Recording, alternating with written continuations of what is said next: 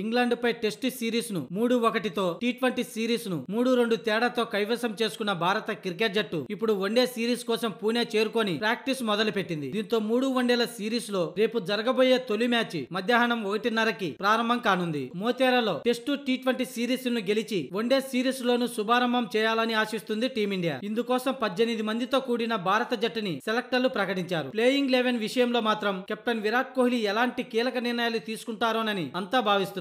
కానీ అలాంటి సాహసపేత నిర్ణయాలు తీసుకోరని కొంతమంది మాజీలు వ్యక్తం చేస్తున్నారు. అదే నిజమైతే Suryakumar Yadav KL Rahul reserve bench కే పరిమితమయ్యే ఛాన్స్ ఉంది. రోహిత్ శర్మ శిఖర్ ధావన్లు ఓపెనింగ్ బ్యాటింగ్ చేసే అవకాశం ఉంది. మూడో స్థానంలో విరాట్ కోహ్లీ నాలుగో స్థానంలో శ్రేయస్ అయ్యర్ ఖచ్చితంగా రానున్నారు. అలాగే వికెట్ కీపర్ రిషబ్ పంత్ ఐదో స్థానం హార్దిక్ పాండే ఆరో స్థానంలో ఫిక్స్ అయ్యారు. ఇక బౌలింగ్ పరంగా భువనేశ్వర్ కుమార్ టి నటరాజన్ శార్తుల్ ఠాగూర్ రూపంలో ముగ్గురు పేసర్లను తుది జట్టులోకి తీసుకోనున్నారు. అయితే నటరాజన్ కూడా ఎంత మేర అవకాశం ఇస్తారో చూడాల్సి ఉంది.